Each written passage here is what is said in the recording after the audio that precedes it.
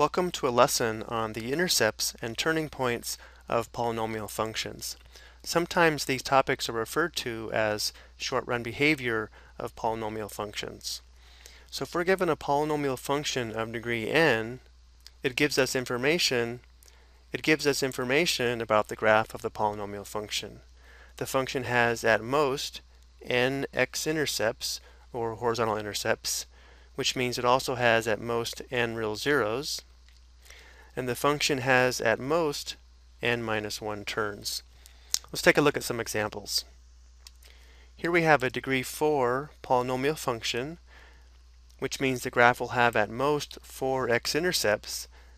And in this case, notice how the graph does have exactly 1, 2, 3, 4 x-intercepts. And again, because the degree is 4, the function will have at most n minus 1, or in this case, 3 turns.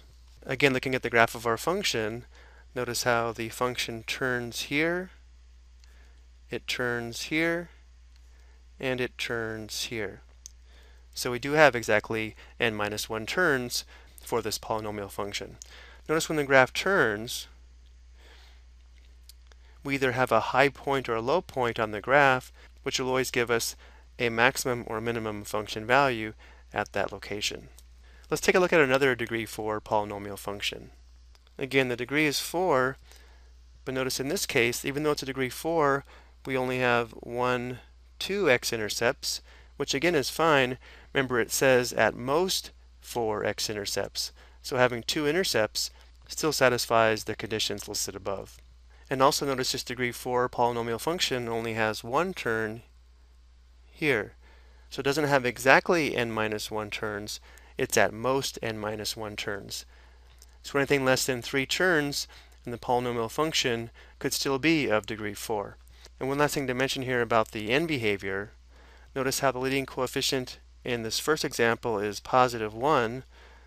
So because we have an even degree and a positive leading coefficient, as x moves to the right or approaches positive infinity, or as x moves to the left and approaches negative infinity, notice how in both cases the graph is moving up, and therefore in both cases f of x approaches positive infinity. However, in the second case, when the degree is even and the leading coefficient in this case is negative, as x approaches right or approaches positive infinity, or as x approaches left, approaching negative infinity, Notice in both cases the graph is going down, and therefore f of x is approaching negative infinity in both cases. Now let's take a look at two examples of a polynomial function that has an odd degree. Here we have a degree 5 polynomial function, which means we can have at most 5 x-intercepts. Let's see how many we have. We have 1, 2, 3, 4, 5. So we have exactly n x-intercepts, which is the most we can have for a degree 5 polynomial function. Now let's see how many turns we have.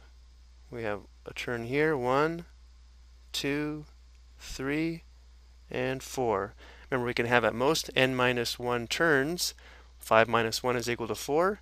So in this case, we have the most possible turns for a degree 5 polynomial function.